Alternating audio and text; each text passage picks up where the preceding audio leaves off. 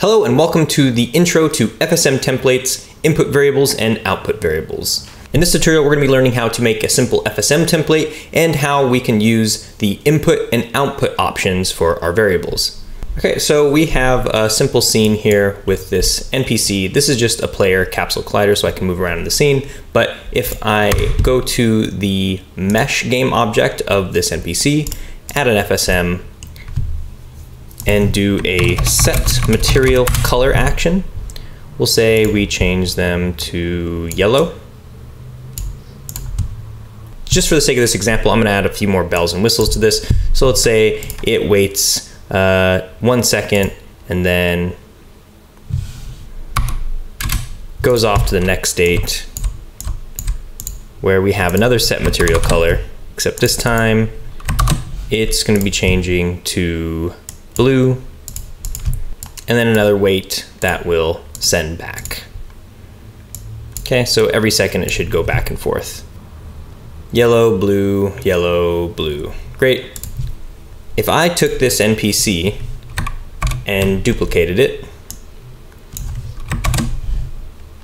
and I have these three NPCs here, they all have that FSM on them, but if I changed one, to go from pink to white. Hit play. Only the one that I made that change to will have that effect.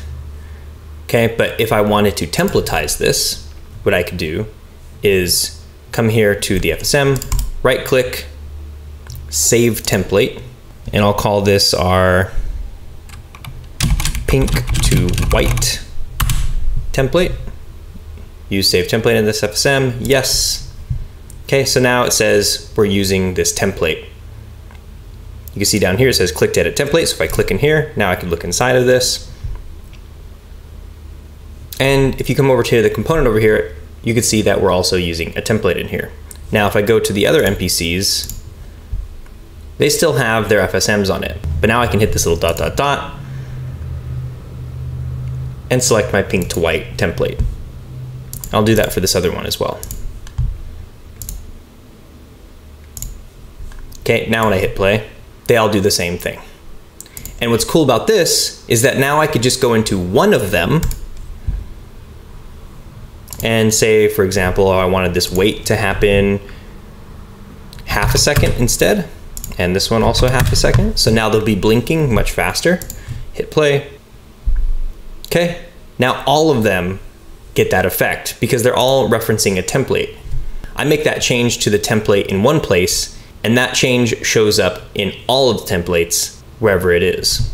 In that way, it's kind of like a prefab. But what's cool about this is that you can make some adjustments per template, specifically with the variables. So if I come over here to edit my template, say in this first state, instead of selecting this pink color, I could change this to a variable. I'll say first color.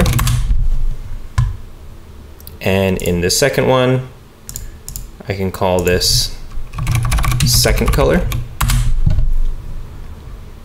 And then in the variables tab, if I select these variables, we have these two options down here, input and output. So I'm gonna select this input value. With that checked, it gets put in this little category down here under inputs. And I'll do the same thing with second color.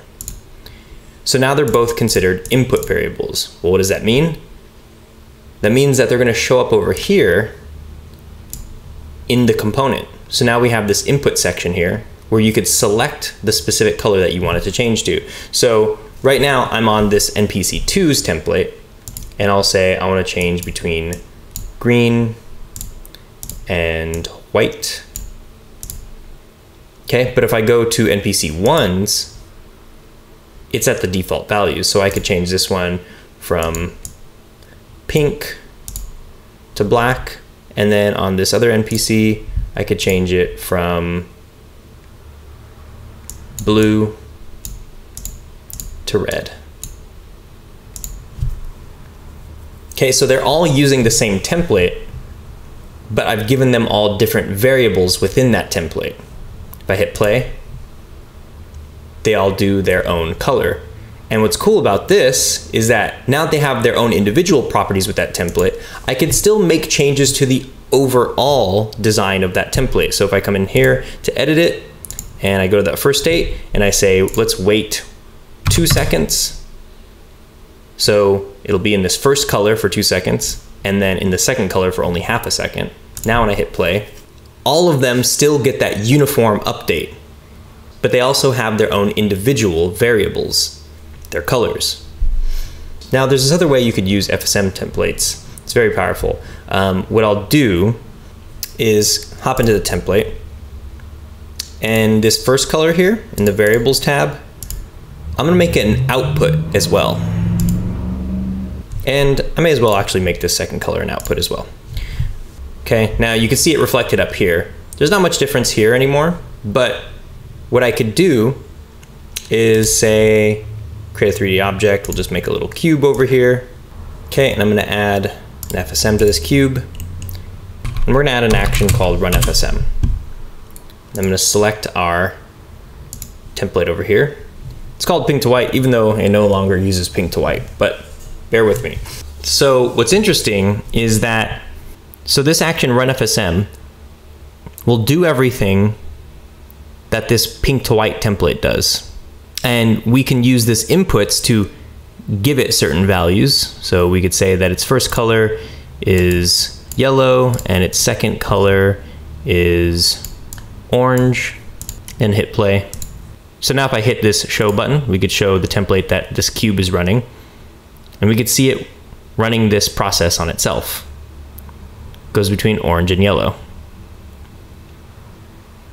could stop this and let's edit our template to random color. So we're gonna select a random color.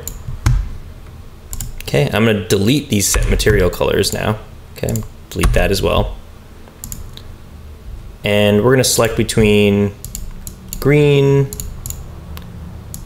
red, and blue. So it'll select a random color and then it'll store it in this first color. Okay, now I'm gonna copy this and put it in the second state. And this time it'll be saving it as the second color. And just so we can see a little bit of difference here, I'm gonna change these to slightly brighter versions of all of those colors.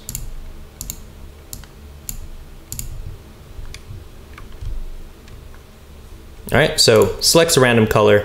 That's all it does. It's not setting any colors right? So if I press play now,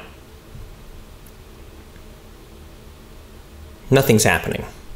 If you go inside the template though, you can see it is selecting these random colors. Down here is the random color it's getting. Green, red, bright blue, green, right? So that's what this template is doing on this cube, and all these NPCs for that matter.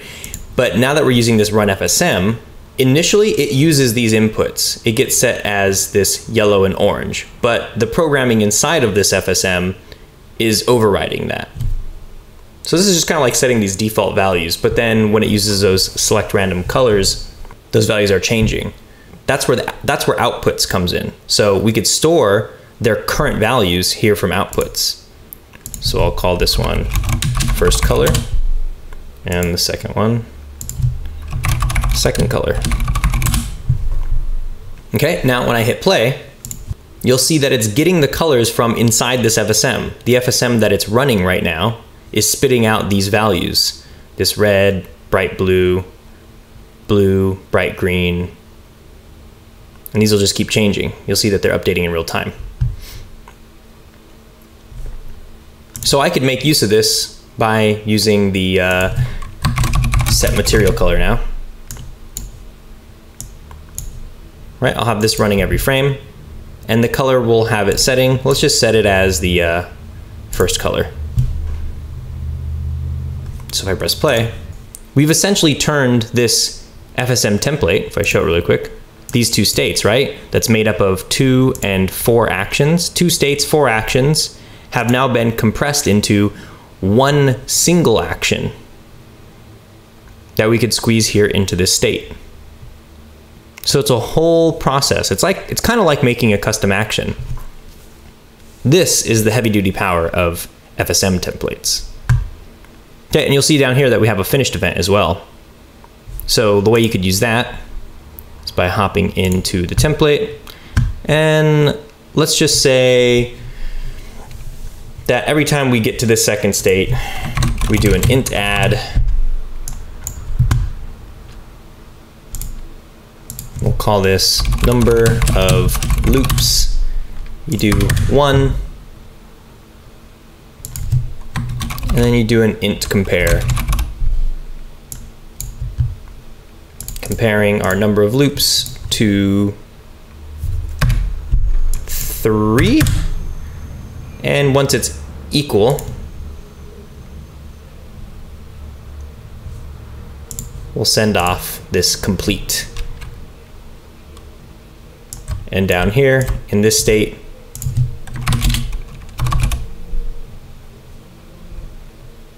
we'll throw in a finish FSM action. And it says here, stop this FSM. If this FSM was launched by a run FSM action, it will trigger a finish event in that state. So once we reach here, back up here in the run FSM action, it'll fire off this finish event. So this one we could say also, uh, let's just say this one is next.